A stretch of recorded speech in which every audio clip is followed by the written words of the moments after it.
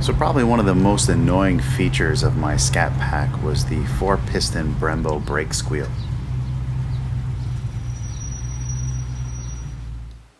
We're gonna have a little fun with this video. Um, this video is from 2016, back when I was first starting out my YouTube channel, and after I did all the work, I did some research to make sure I did it correctly, and of course I made a few mistakes, and uh, so I just shelved the video.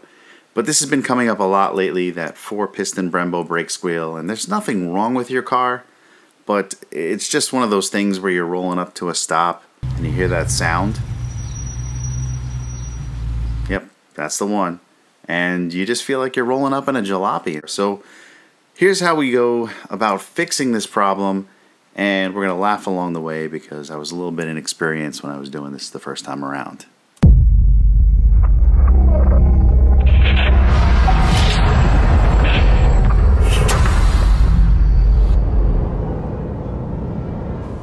We're going to skip ahead on this video because I've got a lot of videos on how to jack up the car and safely place the jack stand. If you need help with those, go check my video library out. If I remember, I'll leave a link in the description to those so you can uh, check it out. Uh, but right here, we've got the wheel off. We're ready to roll. Before we get started, uh, we're going to talk about the products to use. I've got a link in the description below to the brake caliper grease that I used in this video.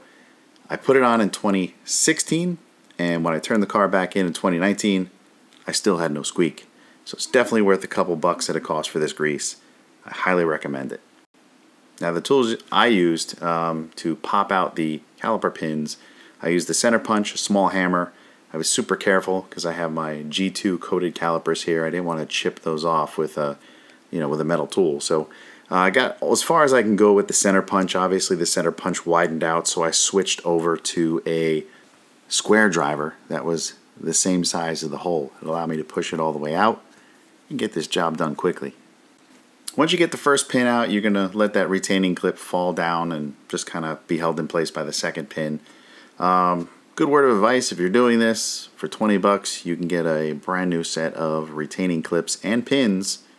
Um, so if you've got some time and you're planning this out, it wouldn't hurt to order a set uh, just so you have some fresh shiny pins. I wound up reusing the retaining clips and I wound up reusing the pins, just clean them down a little bit uh, with Scotch-Brite pad, not sandpaper because we don't want to make them thinner. Um, but, you know, I had really low miles in the car when I did this, so it wasn't really a big deal. Alright, now set these parts aside someplace safe, and we're going to get started on shimmying out the pads. It is a little bit of a pain in the butt, uh, especially if your, um, your brakes are you know, a little bit more compressed. You can move the caliper back and forth and try and loosen up the brakes a little bit. Uh, I did get lucky. I was able to just slide these out with a little bit of effort. Alright, so once you got those pads out, get yourself a nice clean work area to work in. Before you get started with cleaning, you just want to carefully, so you don't bend it, separate the shim from the pad. Now you'll notice here, as I separated the uh, the shim from the brake pad that there was pretty much no grease right behind the pad. So what's basically happening is that metal shim is vibrating at a high rate of speed, or this is what I'm assuming, and that's making that high-pitched squeaking sound. Brake cleaner is noxious, so make sure you have on a set of goggles, not glasses, because you can get brake cleaner sprayed around the side of your glasses. Um, while you're cleaning it off, one of the mistakes I made, and something I read about after the fact, was that you're not supposed to get brake cleaner on the brake pads themselves. So when you're doing this, don't do as I do. It didn't cause any issues for me. I drove the car for another 20 something thousand miles with no problem. But uh, try your best to keep that brake cleaner off the brake pad itself and only use it on the back of the pad to clean off the grease. Now you don't really need to watch me clean both pads, you get the point. But one of the things I wanted to show you is I removed the shim from the second pad.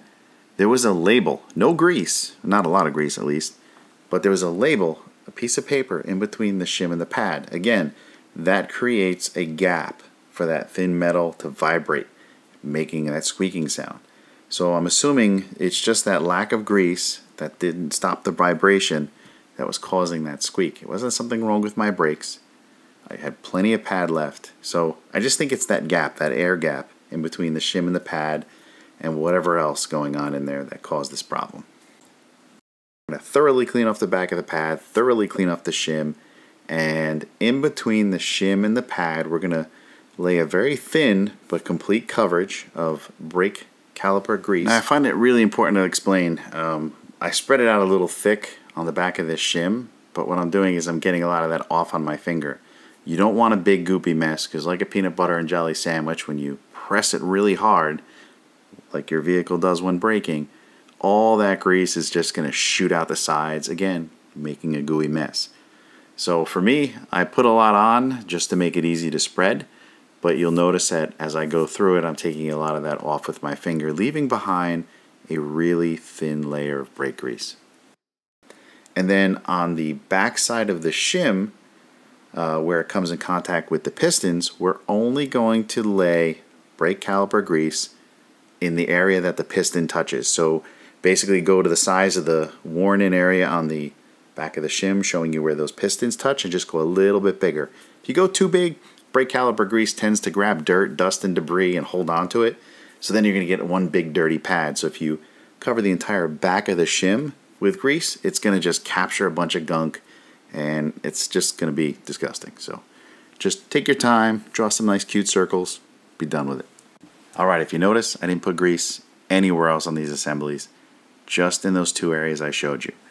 We're going to put everything back together again. I find it really important to note that the uh, it was really difficult getting the pads back in. So what I wound up doing, and this is on a newer car, had only a couple thousand miles on it. The brake fluid didn't have a chance to get disgusting and dirty, so this is okay for this type of scenario. I wound up popping open the uh, brake fluid reservoir, and I wound up with my thumbs pushing the two pistons in the brake assembly back a little bit to give me some more room and then again seal up that brake fluid reservoir. I was able to easily slide the brake pads back into place. Alright, we're on the home stretch. So once you have the brake pads back into place, you want to start by sliding the pins in. And don't forget, the uh, pins go through the retaining clip. So you slide those in and you tap them in from the back. When you're sliding them in from the back, just take your time, be careful. You can use a punch to get them all the way in and get them flush you're going to want to see those pin tips poking out, basically becoming flush with the front of the brake caliper. If you're using aftermarket pins or whatever, they may be a little longer, a little shorter. Just make sure they're seated correctly.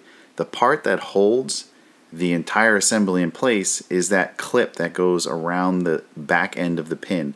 Right where you're hammering, there's that little uh, piece of metal that spins around. That's what holds this into place. So you want to make sure that is hammered in and holding that pin in place because the rest of that pin is free floating inside of there. And obviously, take it out, test it somewhere, make sure you test braking in a safe area, and basically that's it.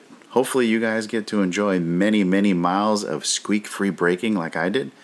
And if this video does help you out, don't forget to gently press that like button. If you're stopping by for the first time, consider subscribing. And as always, thanks for watching.